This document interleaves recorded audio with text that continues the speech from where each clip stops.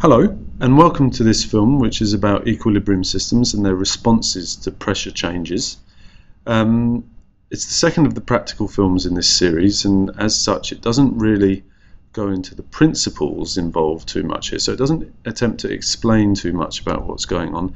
It really just shows you an experiment that can be done to show how a system that is at equilibrium will respond when the pressure of that system is changed. Okay, so let's just introduce the system to you.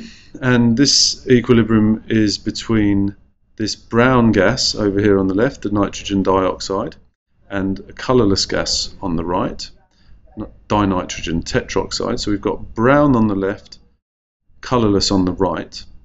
Okay, and in this syringe you can see that there's some brown gas, and there's actually a mixture of the two gases. It's a mixture of the brown and the colourless, but they mix together to make a, a brown gas.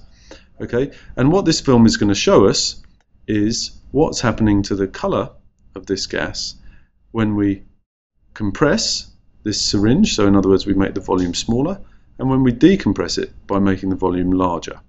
Okay, so I'll let, just let this film, film run for a short while so that we can see these changes happening. Okay, just want you to be aware of the fact or to look out for the fact that there is a sudden change caused by the pressure change or the volume change and then there's a kind of a gradual response okay? So we need to just try and differentiate those two from one another okay? Because one of them is the system responding to the change Okay, so there's been an imposed change and the system's responding to it.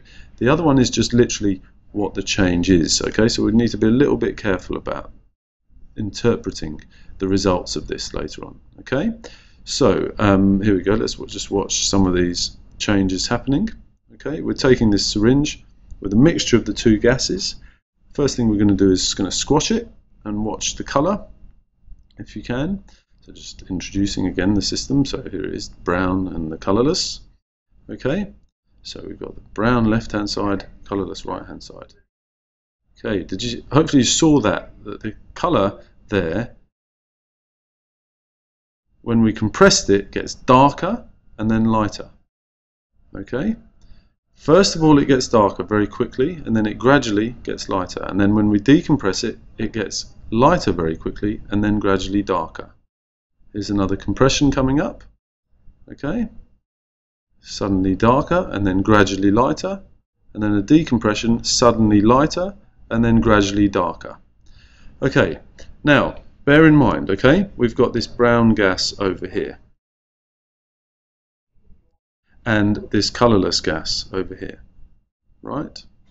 And that we seem to turn lighter when we compressed it.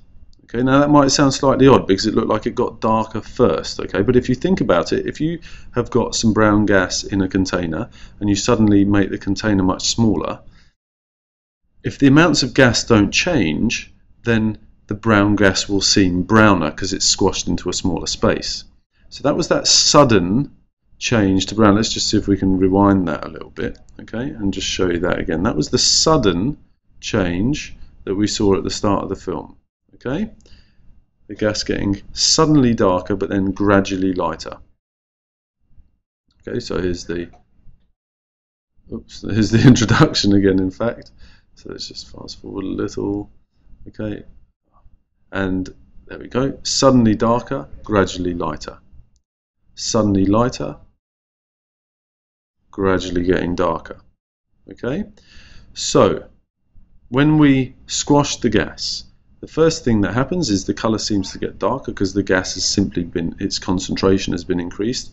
Then it has a chance to respond. So then the system responds to that change in conditions. Okay? And as we've just seen, we compress it, it gets suddenly darker, and then the response is to get lighter. So it's going over to this side. This is the colorless side. So when we increase the pressure, so we've increased the pressure, we're favouring this forward reaction. It seems to be responding by going to the right.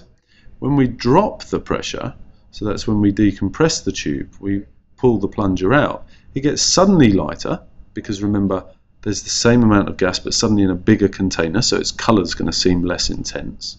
Okay, but then the response comes along. So this gradual getting gradually darker. So if it's getting darker, it must be going over to the brown side.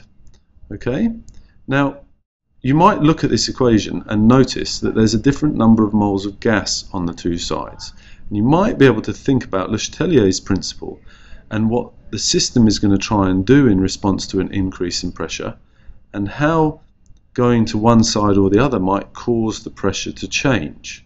Okay, the next film is actually going to go into the principles of this, okay, in a bit more depth.